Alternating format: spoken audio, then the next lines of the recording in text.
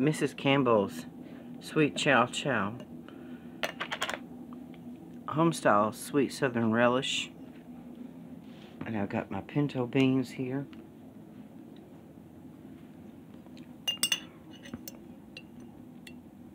Take them, put them in.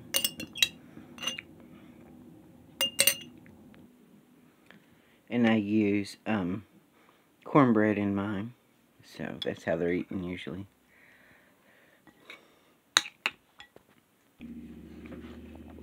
They really add a a great taste to the beans. Especially when you eat the beans without uh, salt. I'm used to eating salt and everything, but living without salt, learning to live without salt, it's a great uh, addition to your beans. Or anything else. You can use them for hamburgers, hot dogs, sandwiches. Anything at 16 ounces available at Walmart or any other. It's not any kind of an Amish thing or anything, but it's very sweet. And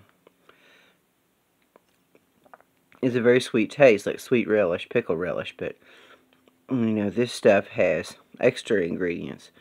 This is not just uh, relish from Walmart. This is not just relish. I mean, this is homestyle southern relish. A homestyle southern relish. And again, it's healthy for you, only 20 calories. You can't read this because it won't fill. It has cabbage, vinegar, salt, sugar, red bell peppers, dried onions. You see, it has those ingredients in it. It doesn't have a lot of citric acid and stuff in it, so doesn't have any saturated fat, so this stuff is really good. And it has uh, the peppers and onions in it, so it has the peppers and onions in it, so that's what makes it good, is the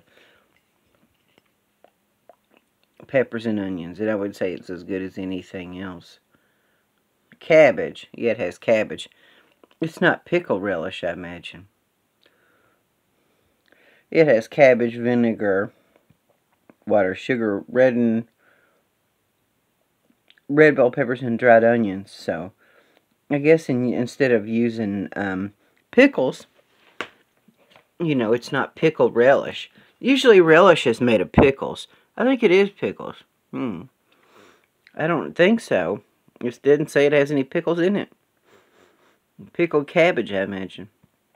Pickled cabbage with vinegar, and, you know, and vinegar. It was pickled cabbage. So, it's different, you know than regular pickle relish. It's different than regular pickle relish. It's your homestyle southern relish. It doesn't have um, the regular ingredients in it. Red bell peppers.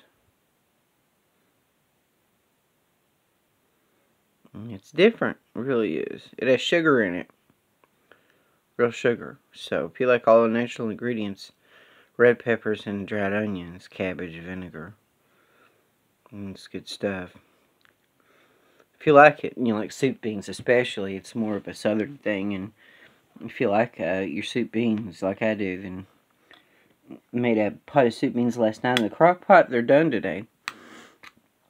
You know, thanks to my mom, she ate two and a half bowls of them, of the beans. So there's not too many beans left. So, I'll catch you on the flip side. Like, share, subscribe, join the revolution, and I will catch you at the end of the time.